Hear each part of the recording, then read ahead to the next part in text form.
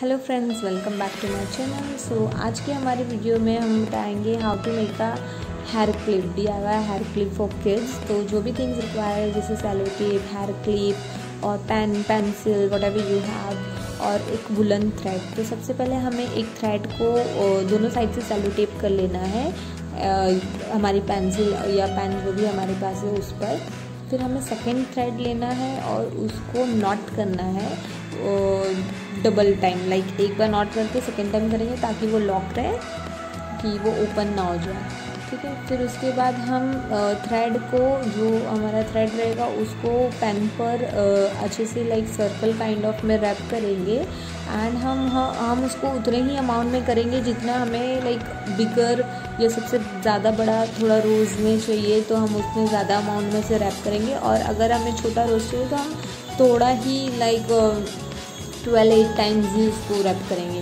तो रैप कुछ इस वे में करना है और जो लास्ट वाला हम रैप करेंगे, उसमें हमें लाइक वो थ्रेड को हमें ध्यान देना है लाइक पकड़ के रखना है। तो जब हम कट करेंगे आफ्टर लाइक दोनों को अटैच करने के बाद तो उसमें मतलब लाइक हमें हेल्पफुल रहेगा और एल्स ये खुल जाएगा। तो कुछ इसमें में मैंने इसे रैप करना है।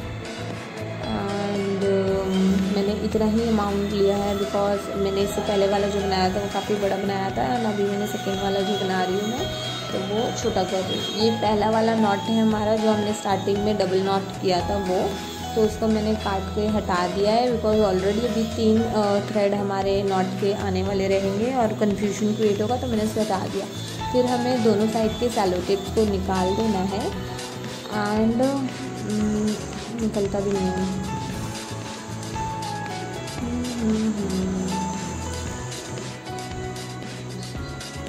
ओके तो दोनों साइड का जब सेलोटेप हम निकाल देंगे तो हमने उस पर ऑलरेडी एक थ्रेड पहले से ही रखा था लाइक अटैच किया था उसको और जो लास्ट वाला नॉट वाला साइड रहेगा उसको।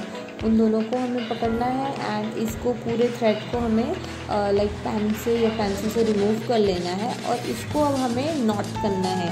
हम इसको भी डबल नॉट करेंगे कि ये ओपन ना हो। जाए फिर जो भी एक्स्ट्रा रिमेनिंग थ्रेड्स है, वो सारे हम सीज़र से कट कर देंगे।